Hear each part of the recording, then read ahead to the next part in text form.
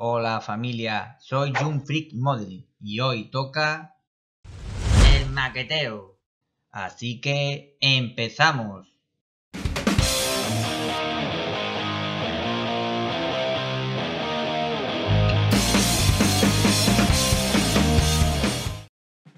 En el vídeo de hoy vamos a montar, pintar y realizar el weathering a un German E-75 AOSF Vielfüßlergerät 58 como para decirlo yo.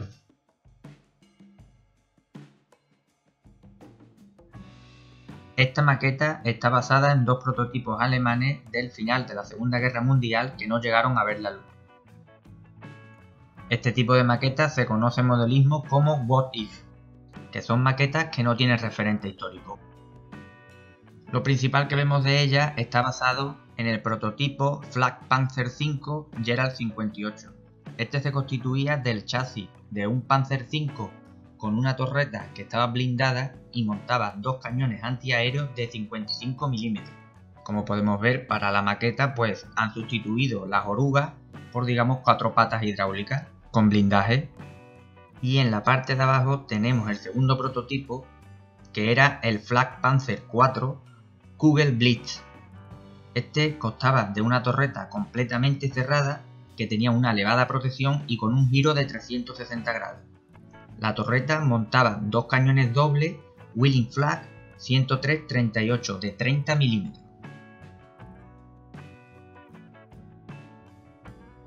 La maqueta es de la marca Model Cole, es a escala 1.72 y la verdad es que es la primera vez que hago algo de esta marca. Parece ser que la marca china. No trae mucha más información lo que es la caja. Y por lo que se ve, vamos, la caja está bien cerrada, no, no se abre. Bueno, ya una vez abierta, vamos a ver lo que contiene.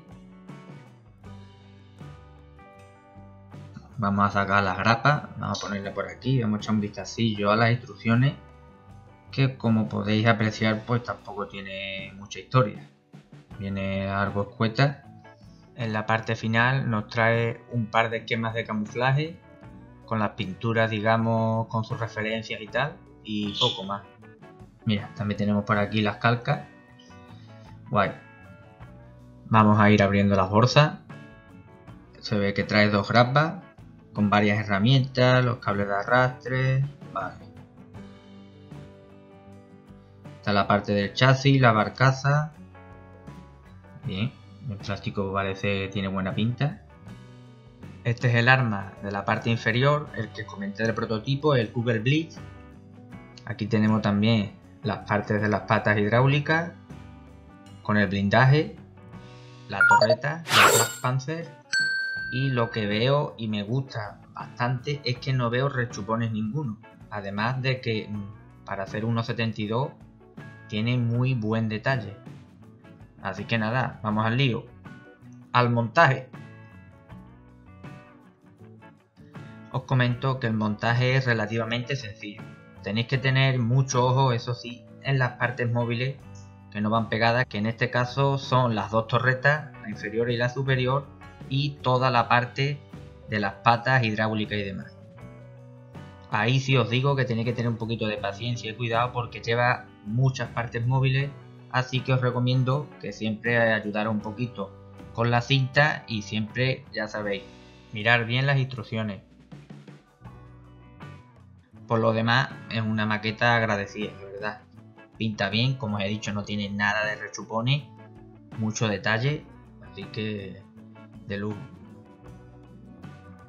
Algunas zonas sí es recomendable de que le pongáis un poquito de masilla porque si no después el encaje no es correcto del todo y os puede quedar ahí las juntas abiertas y echa un poquito para atrás, chavales. Tienen que ponerle un poquito de cariño. Y si es vuestro primer 1.72, no le tengáis miedo, porque aun siendo unos manazas, ya os digo yo que la sacáis para Poco más os puedo contar del montaje.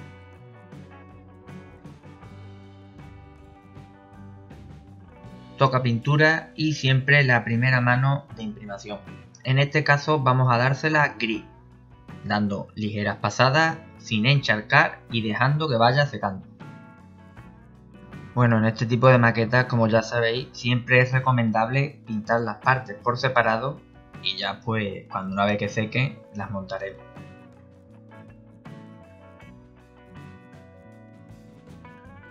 Una vez seca, cogeremos un tono de gris más claro y lo que vamos a hacer es aplicar luces. Nos vamos a ayudar de un trozo de papel para delimitar la zona Vamos dándole con el aerógrafo y el papel nos va a servir, digamos, de máscara móvil.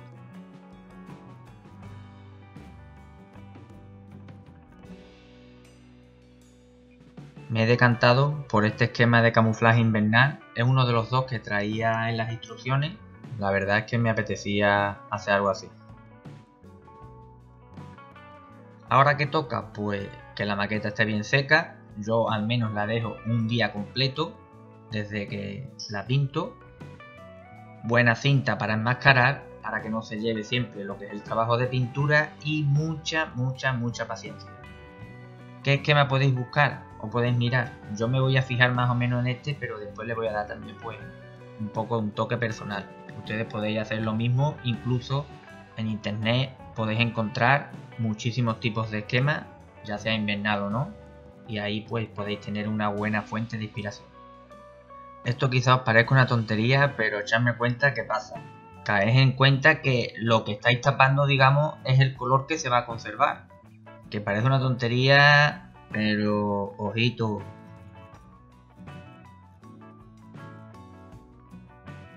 Una vez lo tenemos totalmente enmascarado, le vamos a meter un blanco lavable aerógrafo. Esta es una pintura que una vez que está seca, pues con un pincel húmedo en agua se puede desprender pero bueno, eso ya lo veremos. Os comento que la intensidad del blanco va a depender de las manos que le deis. Cuantas más manos le deis, más blanco quedará y menos se verá el color de fondo. Yo en este caso voy a dejarlo, digamos, un tono medio. Ni blanco del todo ni gris.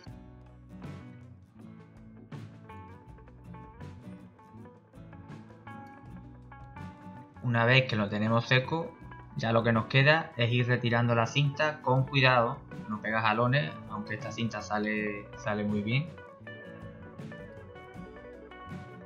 Y aquí tenéis el resultado de cómo queda.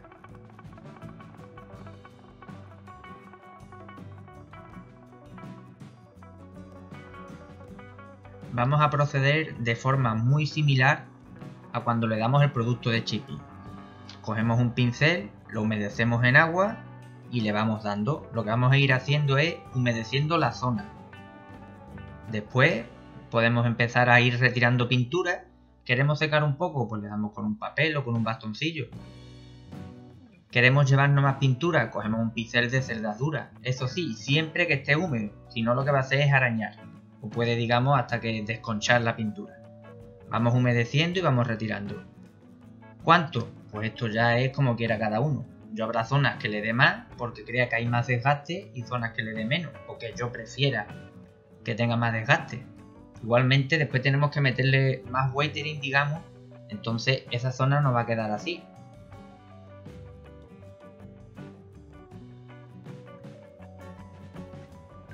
Pues por mi parte se acabó el desgaste y vamos a dejar unas horas para que seque y nos vamos a poner a pintar detalles como los cables de arrastre, herramientas, los tubos cable también se pueden pintar ahora, se pueden oxidar ya.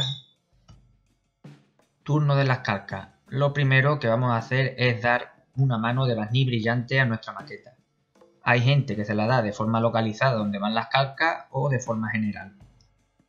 Yo prefiero hacerlo de forma general e incidir un poquito donde va la calca porque esto después nos va a venir bien a la hora de proteger la, maqueta, incluso a la hora del lavado para que corran bien. Damos unos minutos a que seque el barniz y mientras tanto cortamos las calcas y las metemos en agua, que se vayan espojando. Cuando veis ya que se está separando del cartón, las que tenéis hidratándose, pues están listas ya para ponerlas. Así que la cogéis con un pincel, por ejemplo, la pasáis a la parte donde queréis fijarla y ahora que está húmeda se mueve perfectamente. Con cuidado, eso sí, no vayáis a partirla.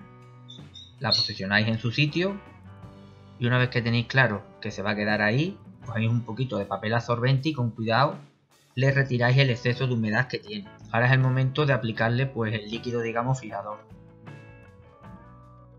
Dejamos unos minutos que se seque y vamos a darle una mano de barniz satinado. Y con esto termina el proceso de poner las carcas. Aquí tenéis al pequeñín, que tiene buena pinta, pero esto está pidiendo un poquito de sabrosura y se la vamos a dar. Vamos con el waitering. Lo primero será hacer un chipping a esponja. Hay que tener en cuenta que la maqueta es 1.72, así que no colaros con un chipping digamos muy grande, muy extenso, porque no va a quedar realista. Tiene que ser algo sutil. El primer color que utilizaremos será un gris más claro que el que tiene de color base. Una vez que tengáis el gris claro aplicado, cogéis el color chipping o un color óxido oscuro, un marrón oscuro y lo mismo. Ahora os vais a donde ya le habéis dado con el gris claro y repasáis un poquito por encima. Esto como sabéis da el efecto pues como la cascarilla que salta de la pintura y tiene varias capas. Ahí lo estáis viendo. Esto queda... Mm, es que queda criminal, vamos.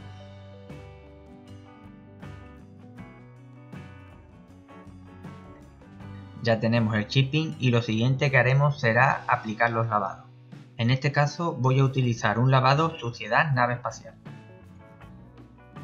Lo iremos depositando por todos los huecos y las zonas que sobresalen, ya sabéis como siempre, yo os recomiendo hacerlo por partes, por ejemplo, yo ahora me voy a centrar en lo que es la torreta, lo aplico por todas las partes de la torreta, lo dejo secar unos minutos y directamente después con un pincel humedecido en White Spirit, pues voy retirando el exceso y así por toda la maqueta. Como podéis ver, con el mismo sobrante del lavado que vamos retirando, podemos crear chorreones de suciedad. Tan solo tenéis que coger un pincel de punta fina, tirar esas líneas hacia abajo y al estar tan diluido no se ve que marca tanto, pero os aseguro que ahí queda el efecto. Con esto estamos creando chorreones de suciedad, estamos haciendo el lavado y a la misma vez es como si lo estuviésemos aplicando un filtro, pero muy muy muy diluido.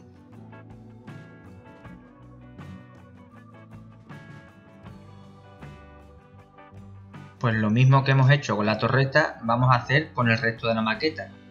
En la zona donde se supone que se acumula más suciedad, lo que tenemos que hacer es que el lavado sea más marcado.